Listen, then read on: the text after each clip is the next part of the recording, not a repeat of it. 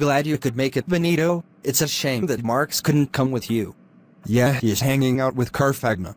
Didn't I make them break up last episode? Yeah, but turns out women have a weak spot for jerks, so they made up again. This development is kind of a cliche. Don't look at me. You are the one who just came up with it on the spot. What about Communist Chicken? He is always present. He will materialize himself eventually. Sometimes I fear the very things I have created. You should.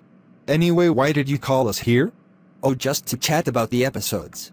I couldn't help but notice that there are no upcoming Plotagon episodes. Do you mind to explain why? Well, Communist Chicken has been taking ceramic lessons, so we have been kinda busy. Ceramic lessons? Why would he need ceramic lessons? I think he is going through a midlife crisis. Isn't he 183 years old? Yes. This is not something new. Last time he had a midlife crisis, he went through a DJ phase. Consider yourself lucky for not having to witness that. Noted. So how about we brainstorm some names and see if a new episode can come out of it? Sure, why not? So the people that are missing are Prodi, Two round. Calenda. Who? How about Craxi? Isn't he dead? So are you. Are you sure? They never found my body.